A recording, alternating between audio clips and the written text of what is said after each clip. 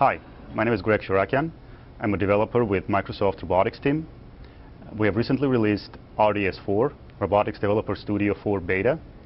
Uh, it's a great platform for developing robotics applications.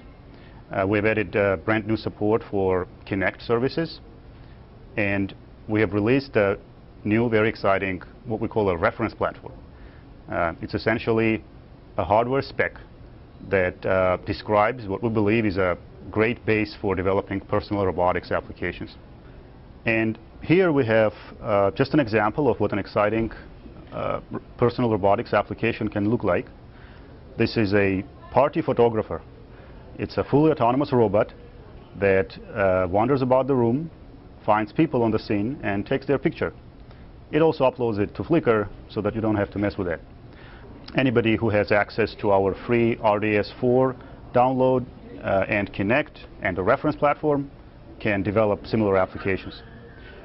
Uh, this reference platform is also available in the simulator, which is a tool that comes with RDS4, and it lets you develop essentially robotic applications without having to have a physical robot, which is, which is a great way of getting ramped up on uh, robotics very quickly and uh, not have to solder or uh, connect things together.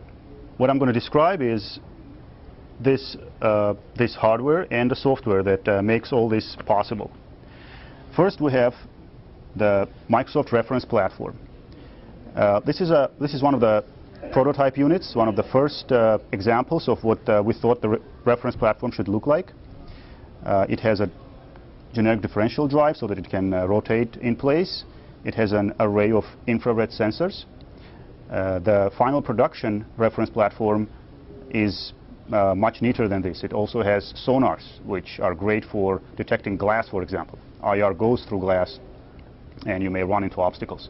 It is powered by Windows 7 running uh, Microsoft Robotics Developer Studio 4 beta. Obviously, this is where the brains are. And this is the Kinect camera.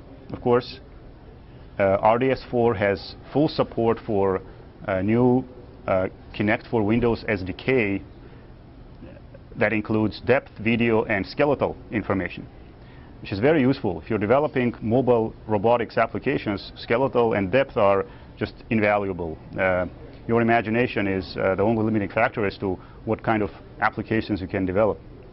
And this is just a DSLR that we trigger to take a picture, uh, and we upload it to Flickr. Uh, that's another thing that is not part of RDS, but we thought it would be cool. Uh, the way this application works is it uses an array of infrared sensors uh, to detect obstacles immediately in front of it. And of course, uh, RDS4 uh, has full support for working with different uh, types of sensors, including infrareds. Uh, Kinect is also used to detect obstacles that are higher up, and of course to find people on the scene. all this information is fed through USB to the application that's written in the RDS4 framework.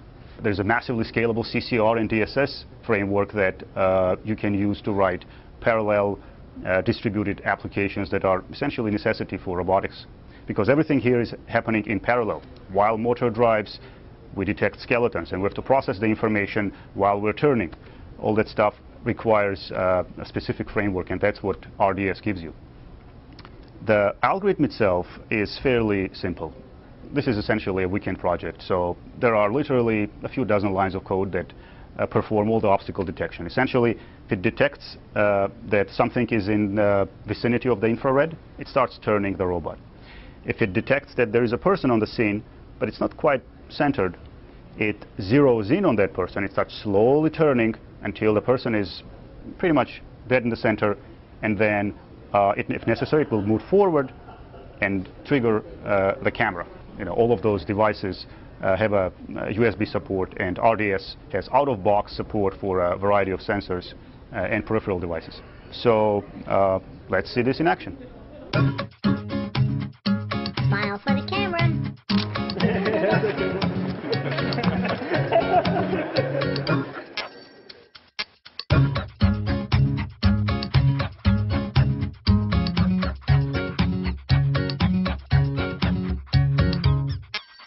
Say cheese.